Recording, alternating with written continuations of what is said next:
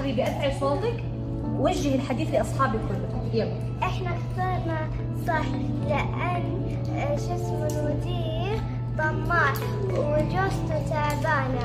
بعدين إذا ما عالجها حتموت طيب. أول شيء المدير لا مستحيل يكون طماع. أحيانا ممكن المدير لشيء مرة مهم. لو لو عنده مرة شغل مهم يعني لا ياخذ فلوس المدير. ليش خطأ المدير؟ لأنه مستعجل. لأنه إيش؟ مستعجل. لأن يتصرفهم جيد لأن هم أخ- أخذوا الفلوس وربوا ناس ثانيين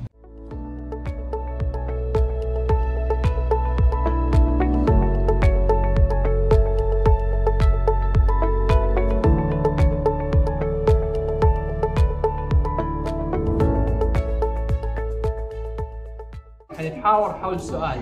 هل هل الأخلاق دائما جيدة؟ الأخلاق السيئة تكون سيئة أما يعني يسب أحد والجيدة أما يعني يقول الله يحفظك كذا. أحيانا أيوة وفي أحيانا لا. في أخلاق مثلا إنه يروح يضرب الناس. وفي أخلاق إنه ي- يكرم الناس بالفلوس. أنا أقول آه، من القصة إنه في بدايتها ممكن آه، تكون أخلاق سيئة وفي نهايتها صارت أخلاق جيدة.